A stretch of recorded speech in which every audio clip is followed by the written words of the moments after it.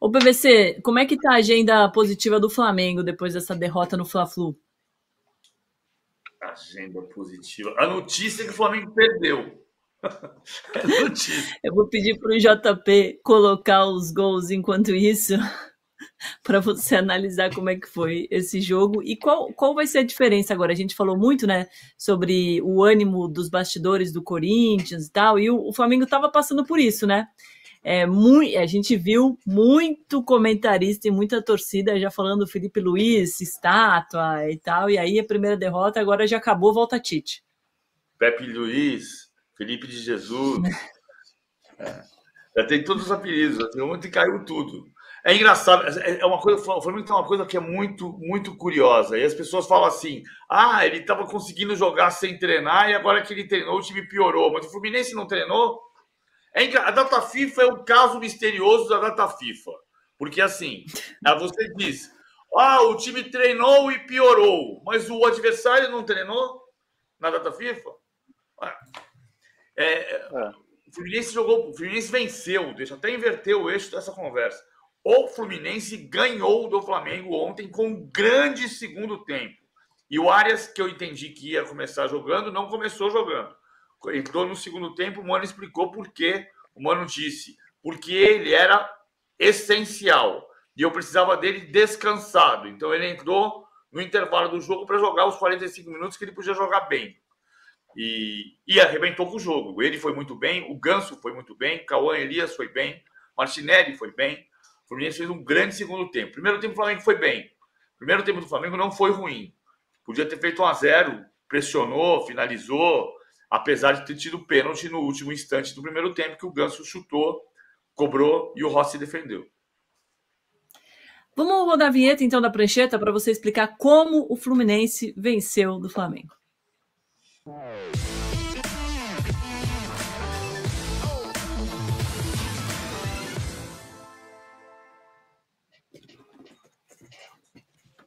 O Fluminense está aqui de grenar, tá? De vermelho ah, com sangue do encarnado, com amor e com vigor, que é o, o, a, o verso que pouca gente conhece, que nem todo mundo conhece, o Santo Fluminense conhece. O, o Mano treinou muito isso aqui, ó. Só que o Flamengo entrando de, no meu time azul para pressionar a saída de jogo. E o, Flamengo, o Fluminense trabalhou muito na data FIFA quebrar a primeira linha. Quebrar a primeira linha de marcação. E você vai ver que foi exatamente o que aconteceu. Você vai dizer, ah, mas foi com um passe longo, não foi quebrar a primeira linha como o Diniz fazia, com um passe curto. Não. A bola sai do Manuel e quebra a primeira linha para o toque do Ganso na segunda linha de marcação. E aí o Ganso dá o tapa na bola para o Cauã Elias puxar. Essa quebra da primeira linha de marcação do, do, do, do Flamengo, porque como a gente já explicou aqui, você pode pensar no, no Felipe Luiz gostando demais do trabalho do Jorge Jesus, que gosta, respeitando e tendo como referência o Diego Simeone, que tem, mas o principal dele é a pressão. O que vai fazer o Felipe Luiz um técnico brilhante e, e, e, e, com o diferencial é a pressão. Então, o que o, o que o Fluminense fez? Trabalhou como sair da pressão. E o primeiro gol mostra muito isso. O passe do Manuel, o desvio do Ganso deixa o, o Cauã Elias na mesma linha, foi milimétrico a condição legal dele. Na hora que eu vi a jogada, eu achei que estava impedido. O Cauã Elias vai no fundo, faz o passe e o Lima faz 1 a 0 Quebrar a pressão, quebrar a primeira linha de marcação do Flamengo foi o X para que o Fluminense vencesse o clássico ontem. Muito bom. Agora o Corinthians precisa estudar essa prancheta do PVC para não fazer o mesmo erro no final de semana. O Felipe Luiz falou sobre limpar a cabeça para chegar nessa semifinal. Vamos ouvir.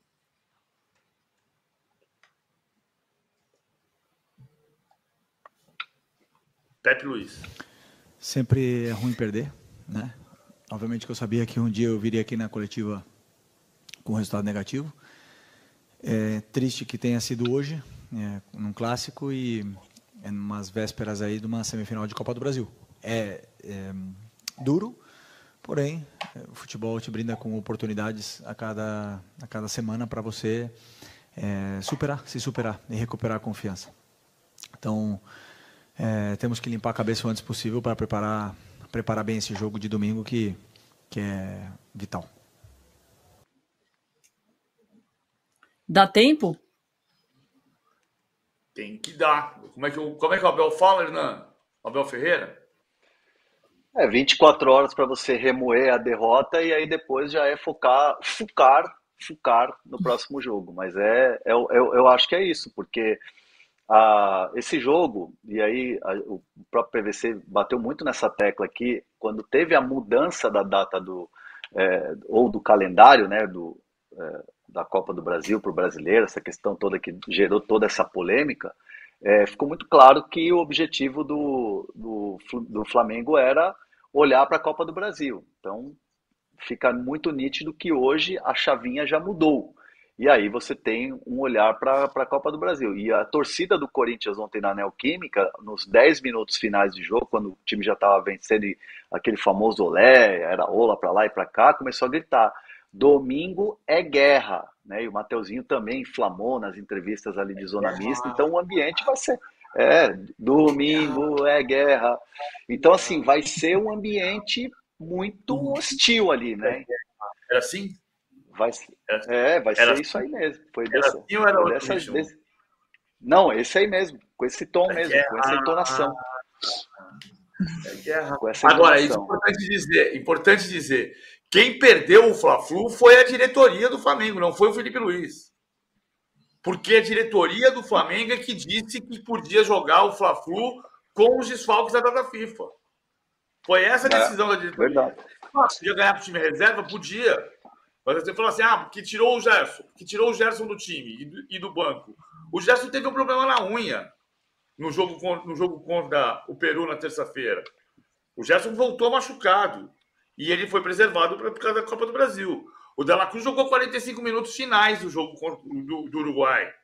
Ah, e o Pulgar estava na seleção do Chile. Mas quem pediu? Quando pediu, quando a diretoria do Flamengo pediu a inversão das datas, a diretoria do Flamengo assumiu o risco de perder o Fla-Flu. Foi isso, que, foi isso que ela fez. Eu preciso deixar claro. Quem perdeu o Fla-Flu não foi o Felipe Luiz. Quem perdeu o Fla-Flu foi a decisão da diretoria. Isso não aumenta muito a pressão para o jogo contra o Corinthians, porque uma derrota é muito pior para o Flamengo nesse momento do que para o Corinthians na Copa do Brasil. Na Copa do Brasil é. O Corinthians não tem. O Corinthians tem que escapar do rebaixamento. O Corinthians deixou claro. Por isso que a final do Corinthians. O risco do Corinthians ontem, por jogar com o Romero no segundo tempo só. Ah, mas o Memphis é muito melhor que o Romero. Ninguém tem dúvida disso. Só que o Corinthians perdeu. Perdeu três jogadores e só perdeu dois porque o José Martinez tomou o terceiro cartão amarelo nas eliminatórias no primeiro jogo da quinta. Por isso que o José Martinez não jogou na terça e por jogar na quinta contra o Atlético Paranaense. Se ele não tivesse tomado o terceiro cartão amarelo na Venezuela, ele teria jogado na terça e não teria jogado ontem. Então, o Corinthians podia, o Corinthians correu o risco de não ter o, o Romero, que estava na seleção do Paraguai e que entrou no segundo tempo, de não ter o José Martinez, que estava na seleção da Venezuela e jogou porque estava suspenso na Venezuela na terça-feira, e o Félix Torres, que não jogou. E o Corinthians não, ter, não teria esses três jogadores ontem, que para o Corinthians é a final do campeonato. O Corinthians ganhar a Copa do Brasil é o bônus. O Corinthians não pode cair. Agora, é claro que você vai jogar com o ambiente de Itaquera que a gente frisou agora há pouco. Itaquera a atmosfera mudou. E mais do que o time do Corinthians, um adversário que o Flamengo vai enfrentar no domingo é a atmosfera da Neoquímica Arena. Tem alguma coisa preparada, André? Não, assim, de, de preparação é, da direção para mosaico, essas coisas, por enquanto não tenho nenhuma informação nesse sentido. Obviamente, Gaviões, as organizadas já estão se, se preparando. A única certeza absoluta que eu tenho é que vai ter um louco aí para o bando, na, nas arquibancadas, que é o Memphis, que não pode jogar a Copa do Brasil, vai estar tá lá no Poropopó, não no meio da, da torcida, mas no Poropopó lá do camarote, lá da presidência, com certeza. Imagina, corta a imagem, tá ele no meio da, da Poropopó. Rodando a camisa. né? Com a faixinha. Ia ser é genial. Ó, oh, aqui na nossa enquete. Que... que foi? Poropopó positivo. É, e, e, assim, e, o, e, o, e o Memphis falou o seguinte, ó, ele tirou a faixinha, a branca, e jogou lá, um torcedor pegou. É, e ele falou assim, ó, espero que o cara não venda na internet, hein, que ele guarde de recordação. Então eu reforço aqui, ó, não vende na internet, hein, malandro. Guarde de recordação. Deixa o cara vender se ele quiser, André. Não vai que ele tá precisando de dinheiro. É, tá bom. Eu vou, entender, vou entender. A situação não tá fácil. Vai que é ele quer o dinheiro para pagar a parte dele do estádio.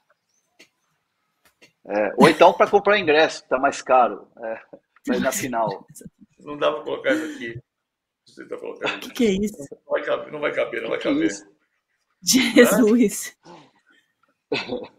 JP, aumenta aí pra gente ver o que, que tá acontecendo no, no escritório do polícia. Essa é a credencial da final do Campeonato Paulista. É, eu só peguei, é a única fita que eu tinha aqui, a única bandana que eu tinha aqui para fazer isso aqui. Ó. Tá lindo. Vamos, vamos fazer uma vaquinha para comprar uma fitinha do Depay para o PVC. Por gentileza. Ó, aqui na nossa enquete, quem se classifica para a final da Copa do Brasil? Por enquanto, Corinthians e Atlético Mineiro, 38% dos votos. Aí na sequência, Corinthians e Vasco com 28%, Flamengo e Galo, 26%, Flamengo e Vasco, apenas 8%. E aí, Hernan, você está com quem nessa enquete? Olha, é... eu algo me diz que vai dar Não, algo me diz que vai dar Corinthians e Galo afinal. Corinthians Justo. e Galo então essa então você está com a maioria, 38%. E aí, PVC? Eu acho que vai dar Flamengo e Atlético. Vai dar empate em Itaquera no domingo e vai dar Flamengo e Atlético na final. Peraí, eu vou anotar aqui para eu lembrar depois de cobrar vocês. Então você falou Flamengo e Galo, certo? Certo. O Hernan falou é, Corinthians e Vasco. É isso? E Galo. E Galo. Corinthians e Galo. Ah, Corinthians e Galo, desculpa. Igual a nossa, o nosso chat. Estou anotando aqui também, chat, para cobrar de vocês. Eu passei diferente, eu vou falar Corinthians e Vasco. Valendo uma Diferente, vinhota. Diferente, Diferentona. É, diferentona. Vamos falar do Botafogo, que agora vai voltar a mandar jogos no Maracanã depois de 10 anos PVC. O último jogo que o Botafogo mandou de Campeonato Brasileiro Série A no Maracanã foi Botafogo 0, Palmeiras 1, em 8 de outubro de 2014. 8 de outubro, portanto, foi há 10 anos e 10 dias. 10 anos e 10 dias atrás. Ah, na época foi Palmeiras 1 a 0 gol de Henrique Dourado. E aí, na sequência, o Botafogo fez. O Botafogo estava sendo rebaixado naquele ano de 2014 e, e emendou uma sequência de jogos fora. Jogou em Manaus contra o Corinthians, jogou em Manaus contra o Flamengo, jogou em Volta Redonda, jogou em outros estádios, porque o Newton Santos estava naquele problema da, da, da obra, problema do, do da, da, da descoberta depois que não era bem descoberta, que podia ter com ventos acima de 80 por hora, caía Marquise, e aí teve uma obra gigantesca no Engenhão, no Newton Santos, e por isso o Botafogo teve que jogar em vários lugares e, e acabou sendo rebaixado naquele ano de 14. Mas a última vez que jogou como mandante no Campeonato Brasileiro Série A foi Botafogo e Palmeiras em 2014. E todos ingressos vendidos. Tudo vendido. Vai ter uma multidão alvinegra no, no Maracanã para ganhar do Criciúma e manter a liderança. Multidão é 50 mil pessoas? Eu acho que vai dar mais do que isso. Ah, vai dar perto de 60 mil pessoas hoje. É, é, é mais fácil para quem conhece o Rio de Janeiro. É, a torcida do Botafogo vai, vai para o Engenhão, para o Newton Santos com muita facilidade. Claro, é a casa do Botafogo. Mas o Maracanã é mais central, né? de qualquer lugar. É mais fácil. É. Nossa, acho que foi o pior. Minha pior experiência no transporte público na vida foi ir para o engenhão de metrô às seis da tarde. Também de trem, né? Nossa, eu achei que eu fosse parar de respirar, de tão esmagado que eu tava. E eu, muito, muito é, garota, né, Erna? Fui tomando um açaí. E aí eu não consegui, eu não conseguia ah, mexer os braços açaí, então eu fiquei assim, ó, segurando, vendo açaí derreter aqui, ó, sem conseguir me mexer, juro por tudo. E aí, quando a gente foi descer, eu e meus amigos, tava com meu amigo Nelson Botafoguense, é, tinha um cara do Flamengo na porta. A gente falou, a gente vai descer. Ele, uh -uh, só vai descer se cantar o hino do Flamengo. A gente cantou, obviamente, afinadinho, desceu tranquilo, chegamos no estádio e açaí foi para o espaço, né? Porque não dá para tomar açaí derretido. Essa é a minha experiência. Maracanã é bem mais tranquilo de chegar, né? Mas de metrô é, uma boa, né? Você vem da Zona Sul de metrô, rapidinho você tá no Maracanã. Mas você pode ir de é, trem também, né? Muita gente vai de trem para o Maracanã. Cena clássica de, da saída da estação, todo mundo saindo do trem para ir para o Maracanã. Mas quem, para quem está na Zona Sul, pegar o metrô e chegar no Maracanã é o quê? Meia hora do Leblon. Vou pedir para o JP colocar na tela a classificação do Brasileirão. Você acha que vai continuar na liderança depois dessa rodada, PVC, o Botafogo? Eu acho que vai. Eu acho que o jogo do Botafogo é um jogo mais tranquilo do que o jogo do Palmeiras. O Palmeiras tem um jogo mais um adversário mais difícil em Caxias do Sul no domingo à noite, jogo que fecha a rodada, do que o Botafogo. Para mim, o Botafogo vence hoje. O Palmeiras pode vencer domingo também, mas vai ser um jogo bem difícil para o Palmeiras no domingo. Tem a volta do Mike no Palmeiras domingo. Mike Estevão. Mike Estevão. Estevão voltou. Você também acha? que Não. É. É, eu, eu, eu, eu entendo que Botafogo e Palmeiras vencem né, nessa, nessa rodada. E a rodada seguinte vai ser uma rodada em que o Palmeiras pode ter ali, uh, pode pensar numa aproximação, porque o Red Bull Bragantino, é, como eu disse, na, quando o Palmeiras jogou, o Red Bull Bragantino tem jogado bem contra esses times que estão lá em cima, né? Vamos ver contra o Botafogo se, se realmente vai se consolidar isso. Então, de repente, se o Botafogo tropeçar contra o Red Bull Bragantino em Bragança, é, eu entendo que o Palmeiras vai ter que fazer a obrigação de vencer no Allianz Parque. Aí, de repente, pode cair é, essa diferença. Mas acho que nessa rodada, os dois times vão, vão avançar e nada vai mudar. Nada muda na tabela. Ah, para o Flamengo ontem foi o, o a gota d'água, né? PVC, dá para a gente falar isso, essa derrota? Vou, coloca de novo, JP, por favor.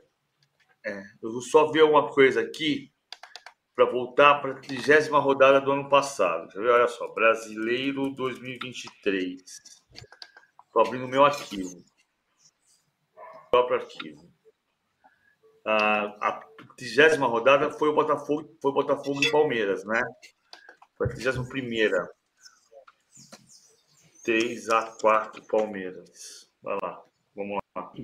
Na trigésima rodada, na trigésima rodada, o Botafogo tinha 59 pontos, o Palmeiras tinha 53, mas o Botafogo estava com 29 jogos, um jogo a menos. Ah, que é o Flamengo hoje, né? O Flamengo tem hoje. Ah, 29 hoje, jogos, 51 pontos. 51 pontos, ele tem 9 pontos a menos. É, grosso modo, é uma situação melhor do que a do Palmeiras no ano passado. Porque nesta rodada no ano passado, o Palmeiras tinha 53 pontos e o Botafogo tinha 59. Só que o Botafogo tinha um jogo a menos, ou seja, potencialmente o Botafogo tinha 62 pontos. Eram nove pontos de distância, ah, que é a mesma distância, a mesma distância de agora. E o Palmeiras foi campeão. E o Palmeiras foi campeão. Claro que não cai um raio no, no mesmo lugar, né, duas vezes. Dois raios no mesmo lugar, no mesmo dia, na mesma hora. Não tem como mas, mas é uma situação parecida com a do ano passado. Então o Flamengo não está fora da disputa. O Flamengo pode ser campeão.